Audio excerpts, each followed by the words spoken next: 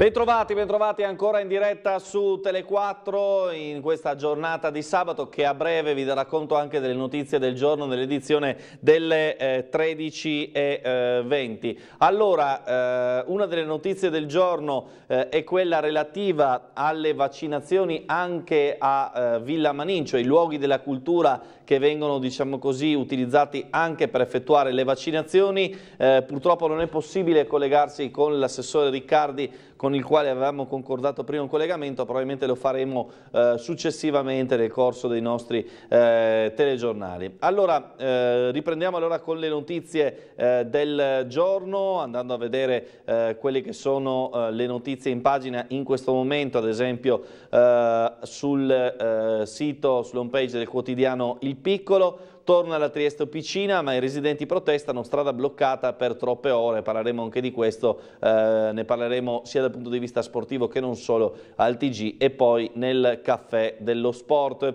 Tra le altre notizie, eh, ubriaco aggredisce infermiera Cattinara, denunciato, anti-Covid, eh, 3.418 controllate in 6 eh, giorni.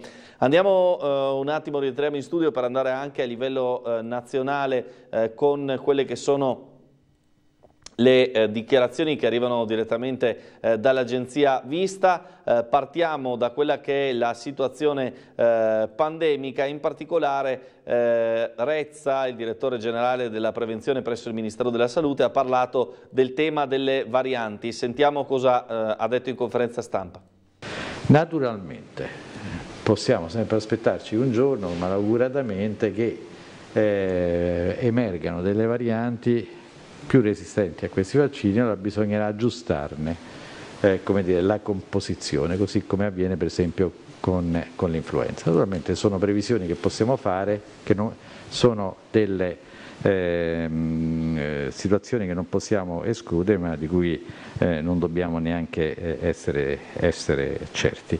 Quindi questi fattori potrebbero dire, in qualche modo impedire il raggiungimento dell'immunità di gregge ma allo stesso tempo potremmo raggiungere invece quello che è il controllo dell'epidemia.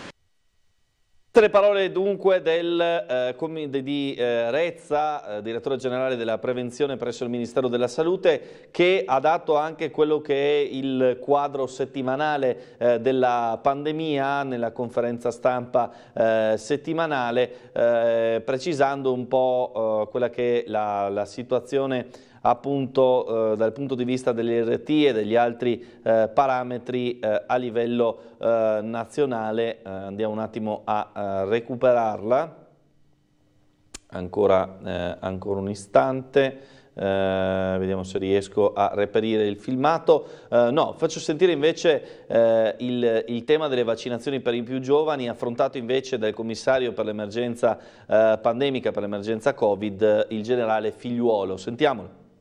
Riusciamo ad uscire da questa emergenza. Uscire dall'emergenza vuol dire, mettere, dopo che mettiamo al sicuro le persone anziane, vacciniamo le classi più produttive eh, dell'industria, eh, della grande distribuzione, del turismo, dello spettacolo e facciamo ripartire il nostro paese andando ad intercettare la ripresa economica, che oggi è mondiale.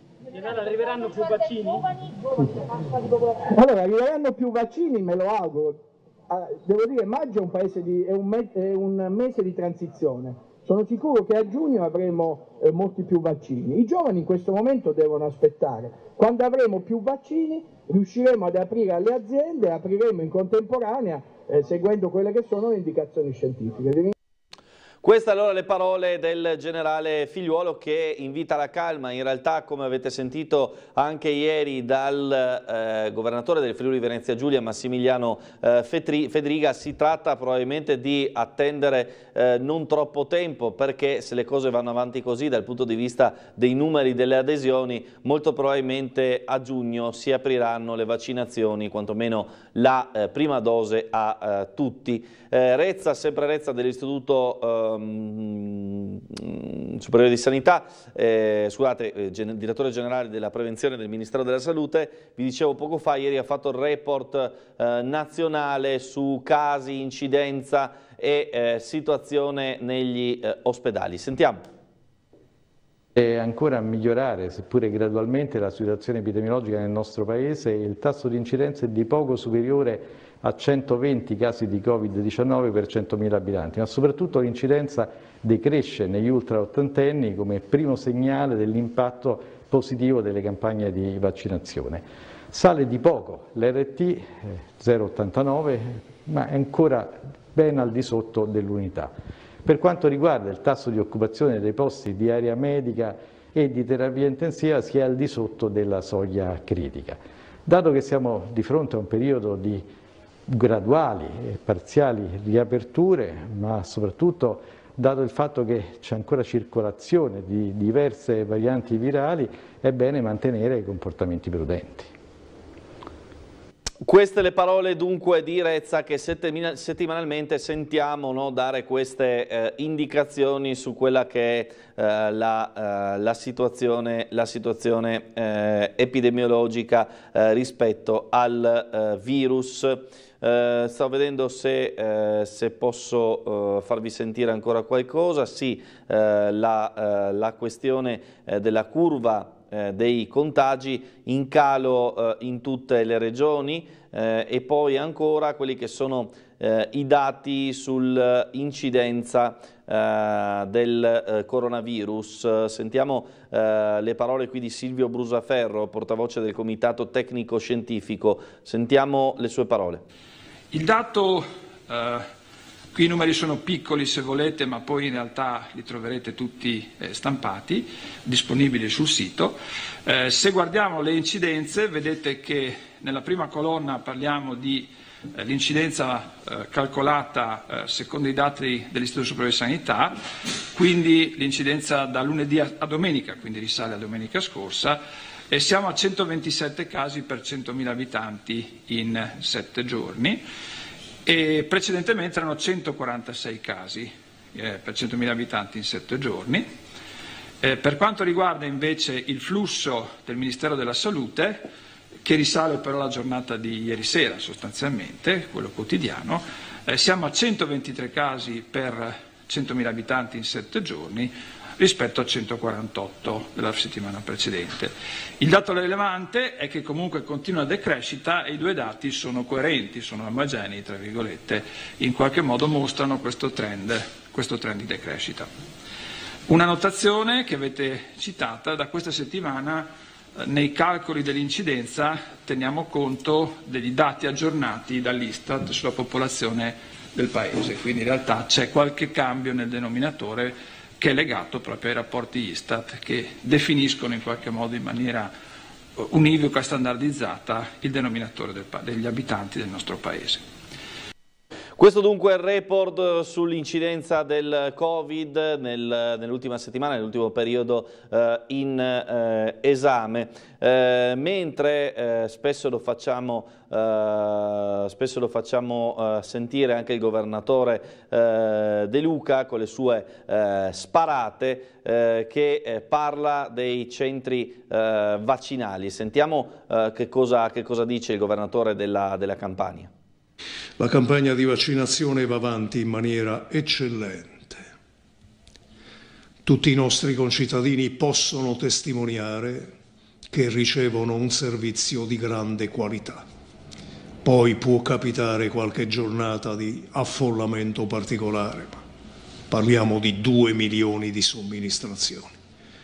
Ma in generale, nel 99% dei casi, i nostri concittadini possono testimoniare che hanno ricevuto un servizio di assoluta eccellenza, con grande efficienza, con grande cortesia.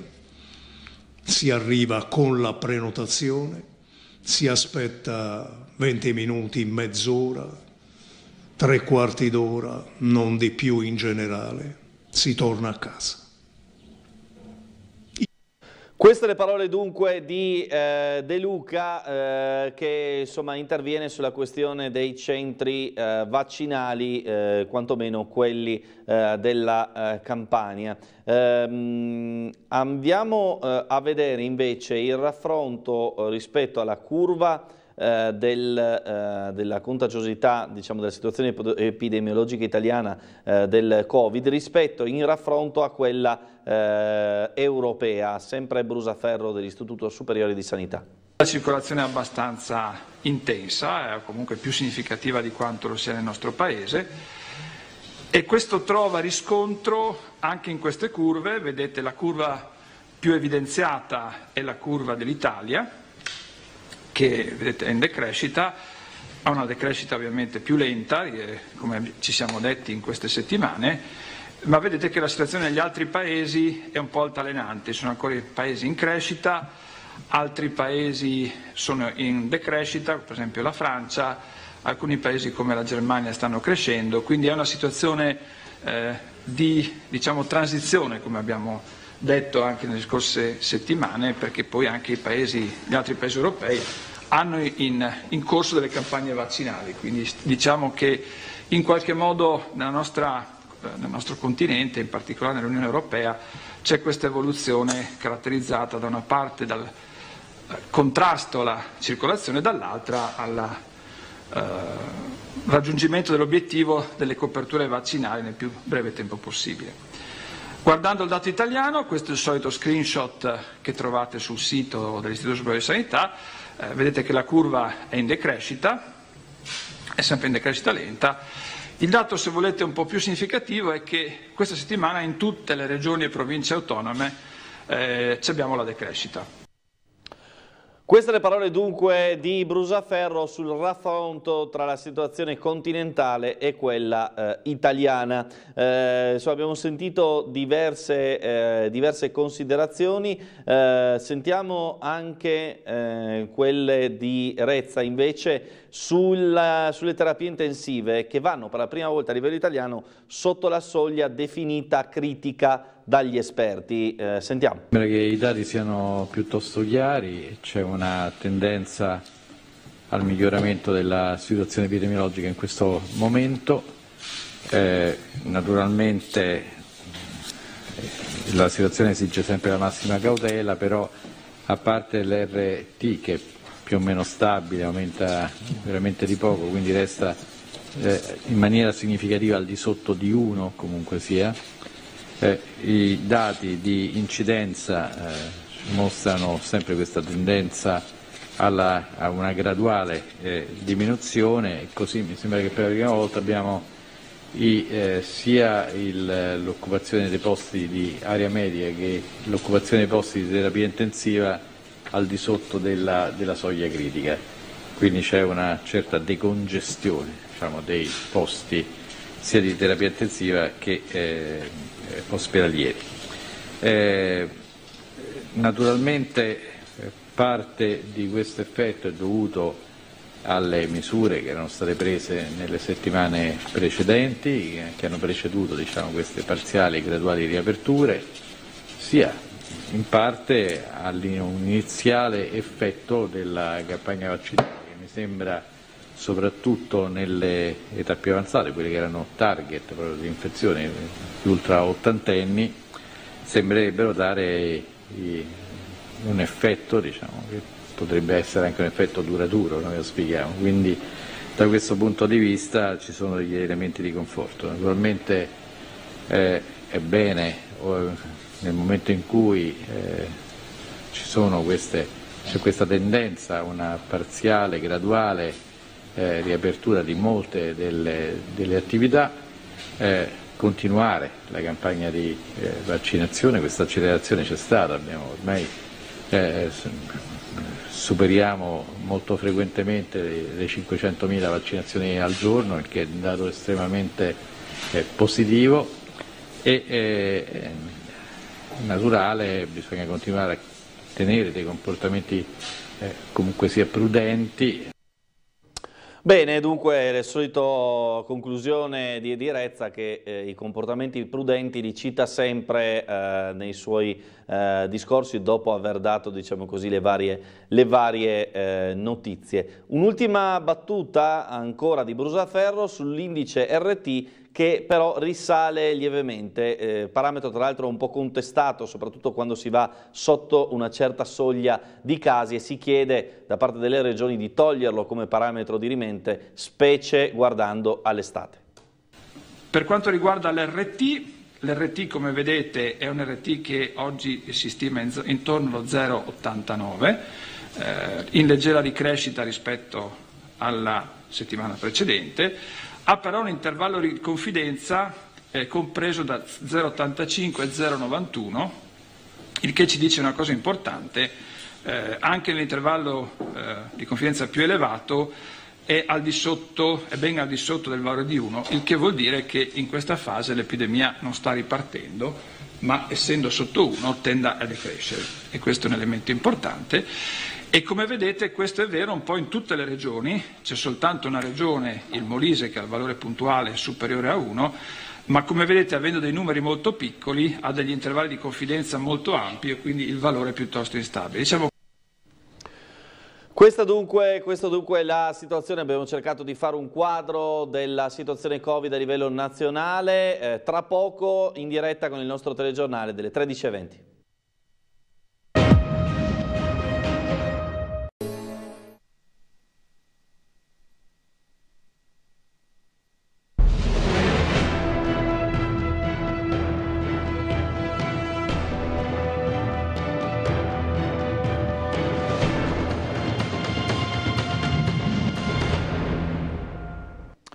Buon pomeriggio e bentrovati a una nuova edizione del telegiornale di Tele4. Da lunedì la campagna vaccinale accelera aprendo le agende anche ai cinquantenni. La platea interessata conta circa 197.000 persone. La novità principale è il tempo più lungo d'attesa tra la prima e la seconda iniezione che sale a 42 giorni per Pfizer e Moderna. Il servizio eh, in una sorta di istruzioni per l'uso della nostra Laura Bucarella.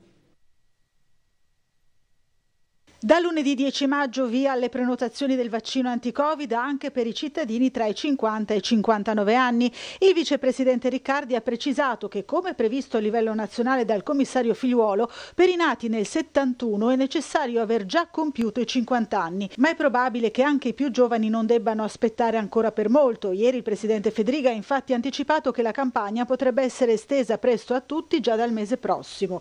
La fascia d'età riguarda in Friuli Venezia Giulia ben 190 197.000 persone, alle quali vanno sottratte le circa 42.000 che hanno già prenotato nell'ambito delle vaccinazioni per categoria professionale. A loro, come da indicazione nazionale, saranno somministrati Pfizer o Moderna. La novità, già anticipata ieri, riguarda l'intervallo tra la prima e la seconda iniezione, esteso a 42 giorni dai precedenti 21 o 28. Lo scopo è di coprire dal rischio il maggior numero di cittadini nel minor tempo possibile. Le prenotazioni potranno essere effettuate attraverso attraverso il call center regionale 0434 22 3522, gli sportelli CUP, le farmacie abilitate e la web app. Anche le persone delle altre fasce d'età che si sono già prenotate in precedenza potranno, se lo vorranno, chiedere di anticipare la data di vaccinazione. Inoltre è bene ricordare che la campagna vaccinale prosegue anche per tutte le persone d'età compresa tra i 18 e i 59 anni con patologie croniche, al personale scolastico universitario, alle forze di polizia, forze armate, guardie di Finanza, Vigili del Fuoco, personale delle dogane, organizzazioni di volontariato della protezione civile che siano impiegati in prima linea, oltre ai sanitari non ancora vaccinati e naturalmente ai fragili e agli over 60. Al momento della vaccinazione è bene portare la scheda anamnestica e il consenso informato. In più i cittadini con patologia devono portare documentazione che l'attesti, ad esempio la tessera sanitaria con codice esenzione o una diagnosi specialistica. Più interventi per pazienti affetti da patologie urologiche neoplastiche nonostante l'impatto del Covid sul sistema sanitario e quanto accade a Gorizia e Monfalcone, dati che Tele4 rivela per la prima volta proprio nel proprio, nel proprio TG.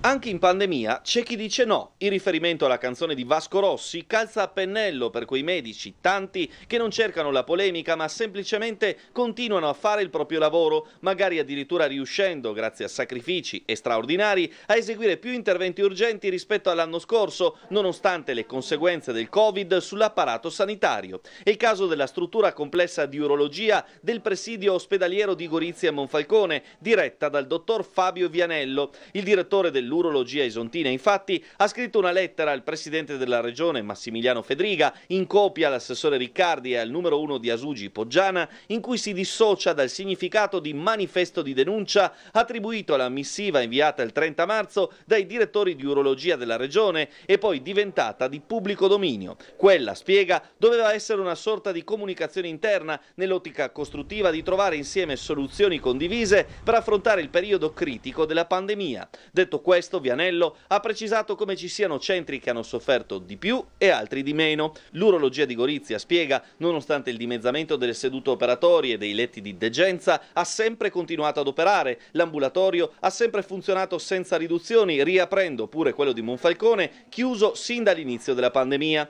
Quanto ai casi più gravi, quelli affetti da neoplasia, la struttura è riuscita addirittura a fare meglio dell'anno scorso. Le tabelle parlano chiaro. Il numero degli interventi eseguiti a Gorizia e Monfalcone per la patologia neoplastica uroteliale, quella più stressata dal documento manifesto a cui ci si riferisce, nei primi quattro mesi dell'anno sono stati 99 contro i 97 del 2020. Per quanto riguarda invece il numero di interventi per altre neoplasie urologiche, l'incremento è stato di 10 unità, da 23 del 2020 a 33 del 2021. Questo, spiega Vianello, perché abbiamo avuto la possibilità di dare maggiore spazio alla chirurgia cosiddetta maggiore rispetto all'endoscopia per massimizzare i tempi d'utilizzo delle sale operatorie senza necessità di avere a disposizione molti posti letto. Un messaggio tranquillizzante a quanto scrive Vianello, che non significa però dire che tutto va bene, ma che per i pazienti gravi è stato garantito a Gorizia Monfalcone il massimo livello di cure possibile.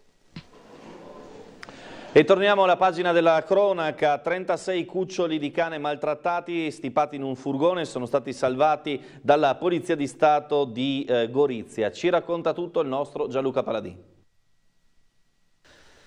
36 cuccioli di cane stremati, maltrattati, stipati in un furgone dentro gabbie anguste, in pessime condizioni.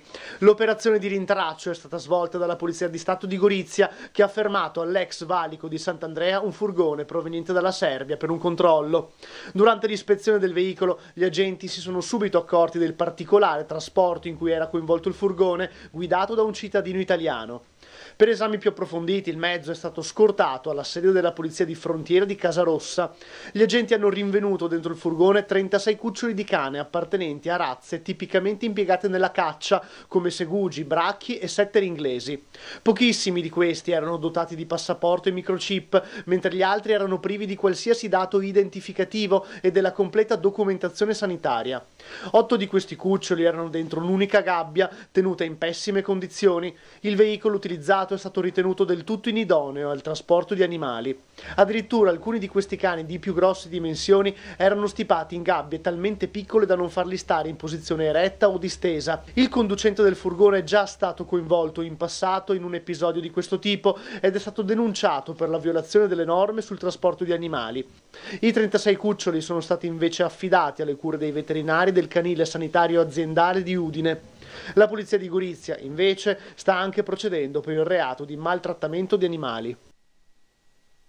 Proseguiamo con le altre notizie di cronaca del giorno riassunte nel nostro spazio in breve.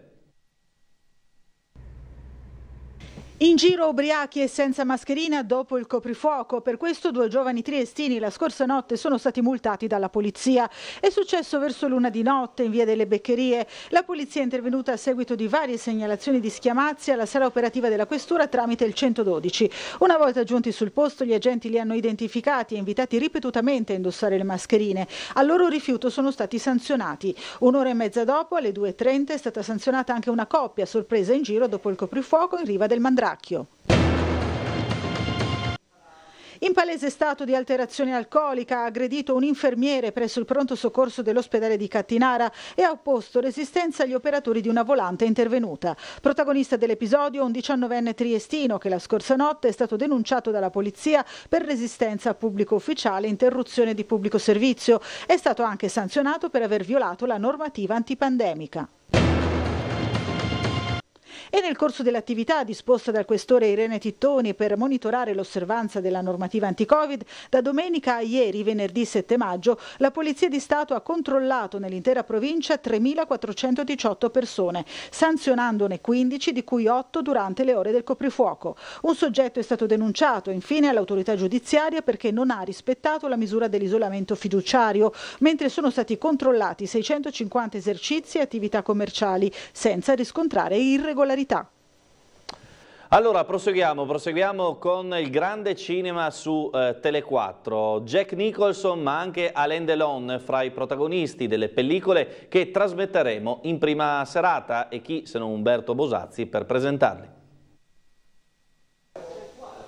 Friedrich Dürrematt e Georges Simenon. I film che Tele4 propone fra stasera e domani sono tratti da due romanzi brevi scritti dai due autori e rappresentano due esempi particolarmente felici di trasposizione cinematografica. La promessa, diretto da Sean Penn nel 2001, vede straordinario protagonista Jack Nicholson in una prova di efficacissima misura nei panni di un poliziotto che finisce per precipitare nella follia volendo mantenere a tutti i costi la promessa, fatta ai genitori di una bambina assassinata, di ritrovarne l'assassino. Il cast di supporto è incredibile. Helen Mirren, Benicio del Toro, Vanessa Redgrave, Sam Shepard e Harry Dean Stanton.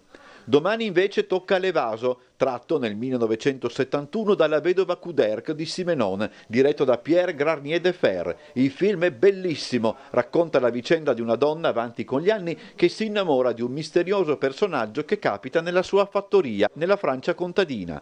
Tutto finirà tragicamente stante il clima di odio maturato causa l'atteggiamento dei familiari acquisiti della donna. Gli interpreti sono letteralmente meravigliosi, Ottavia Piccolo, Alain Delon, ma soprattutto una stupefacente Simone Signoret in una delle interpretazioni più intense e struggenti della sua carriera. E allora parliamo anche di eh, altri fronti culturali. Il più recente volume della collana d'arte della Fondazione Cire Trieste dedicato ad August Cernigoi è stato presentato ieri durante la puntata di Trieste d'arte di Trieste in diretta. Eh, ci racconta tutto in questo servizio il nostro Umberto Bosazzi. La Fondazione CR Trieste ha scelto nuovamente Trieste in diretta per la presentazione ieri del più recente volume della collezione di storia dell'arte dedicato ad August Cernigoi. L'impostazione, impressa dal professor Alessandro Puppo, curatore dell'iniziativa da qualche anno, prosegue la carrellata cronologica dei protagonisti del panorama artistico cittadino, affidando i volumi a studiosi non triestini. La prospettiva è diversa ed è giusto perché anche noi ci conosciamo meglio se ci vedono gli altri e quindi quindi credo che questa sia una buona opportunità che la collana anche in qualche maniera ha stimolato eh, non solo per gli autori ma anche per quello che eh, è intorno agli autori. Di August Cernigoi e delle avanguardie della Mitteleuropa si è dunque occupato il milanese Matteo Bonanomi, il quale ha dovuto muoversi con estrema cautela, unitamente ad un notevole rigore accademico, nell'analisi di un artista nato nel 1898 e scomparso nel 1985 e che dunque, oltre ad aver vissuto una temperia artistica non indifferente, Bauhaus, avanguardia, costruttivismo e una stagione finale per nulla ripiegata su se stesso, stesso, ha attraversato da italiano di origine slovena gli anni certamente più complessi per la vita politica e sociale della città. Un autore che ha letteralmente attraversato il secolo con tutto quel quello secolo, in quel secolo, in, que, in quella collo, collocazione sì. storica sì. E, e, geografica.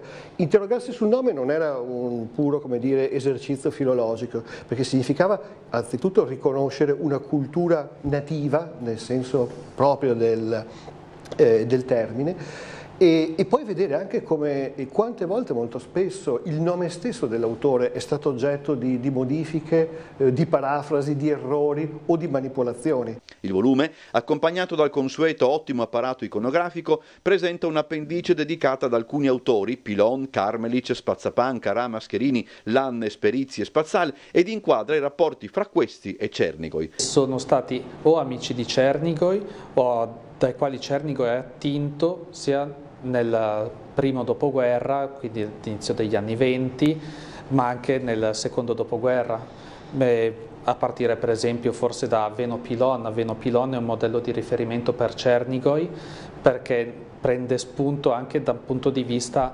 artistico. Molte opere di Pilon, molti stilemi si ritrovano in Cernigoi. Il prossimo volume, ancora in gestazione, sarà dedicato a tre figure femminili dell'arte triestina. Allora, la situazione meteo in Friuli Venezia Giulia, oggi sabato 8 maggio, tempo stabile, eh, vento di Bora, temperature tra i 10 e i 13 gradi le minime, tra i 16 e i 18 le massime. Domani, una domenica di eh, bel tempo, eh, tra i 10 e i 13 gradi le minime, tra i 17 e i 20 le massime, sole, ancora un po' di, di Borino e poi venti a regime di Brezza. È tutto per questa edizione del nostro telegiornale, ci risentiamo questa sera alle 19.30.